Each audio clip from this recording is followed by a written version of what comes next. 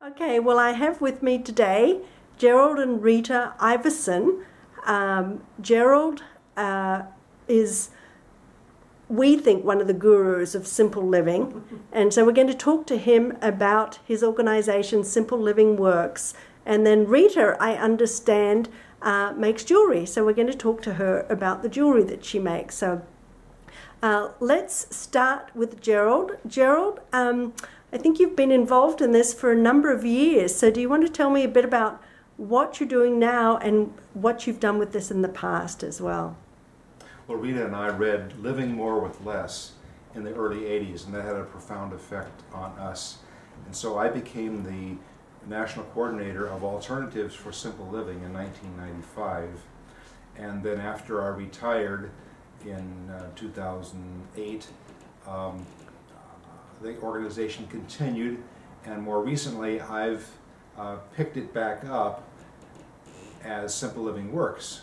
And the intention is to extend the mission of alternatives, but primarily on the internet. So that 40 years of resources are all available free of charge on the internet. And then I extend the mission by um, blogging oh, three or four times a week producing a number of podcasts each month, sending out an email newsletter, and uh, those kinds of things. So, um, Living More with Less is still around, and we still believe in um, the five life standards of living more with less, promote that through Simple Living Works. And what are those? well, um, first of all, I'll tell you if you'd like to see um, an extended video of my talk on the five life standards. That's available on YouTube. But for right now, they are, first of all, do justice, not just think about or talk about justice, but do justice. Also, uh, nurture people, which is about relationships. Learn from the world community, which we happen to exercise through fair trade. And then also, cherish the natural order, which is the environmental component of uh, voluntary simplicity.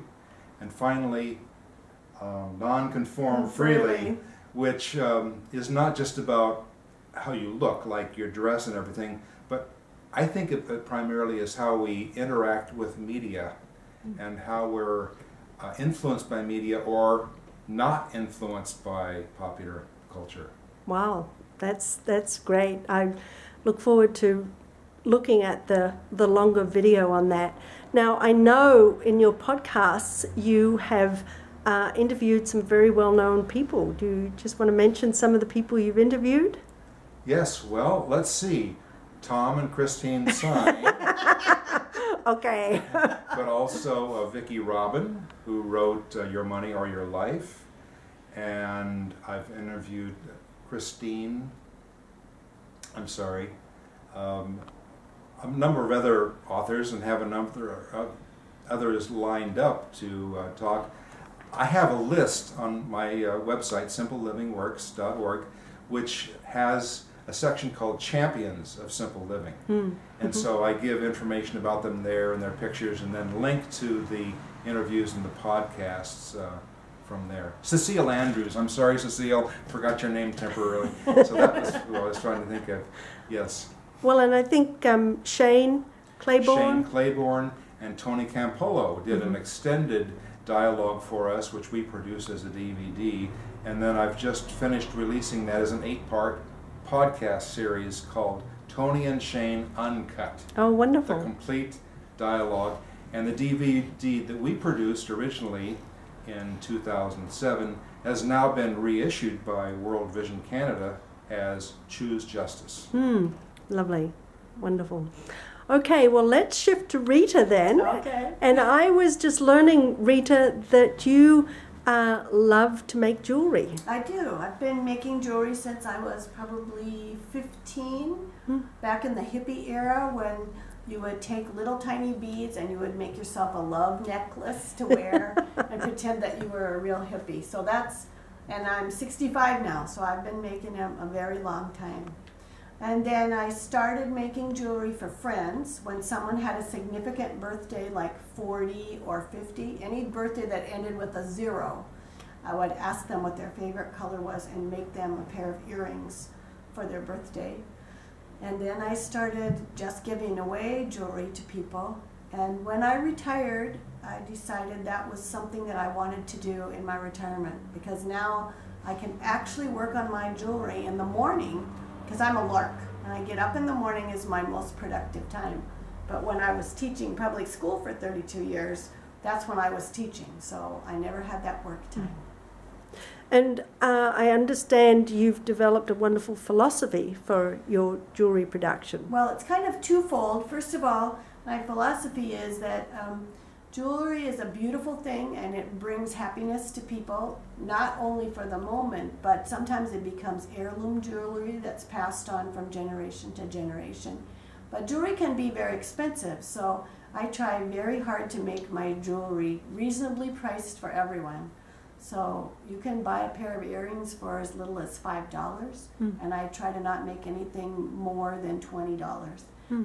And so ma- the mantra for my business is my jewelry is light on your body and light on your budget. Lovely. I like that. Yeah. Very much in keeping with uh, simple living. Yes. Yes. And, uh, And then uh, my future plans this year, this is the first year I'm going to be doing it. At the end of 2014, I will look at the profits that I've made, and I'm looking at a number of um, organizations that specifically help young girls. And I'll be choosing one of those, and the majority of the profit from 2014 will be donated to that organization. Looking at specifically organizations that rescue girls from prostitution in India and, and Asia and that area. There are a number of women that are doing wonderful work in that area, and Mm. I'm concerned about that. Wonderful, wonderful.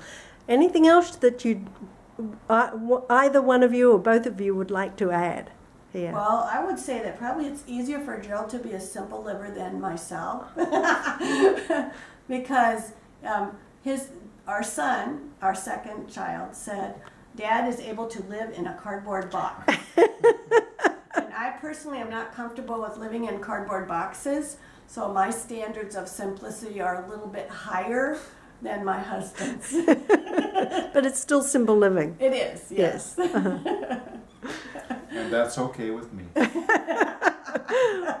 Wonderful. Well, thank you very much. Uh-huh. Um, appreciate your being here and delight to get to know you a bit. Thank you for Thank hosting you. us.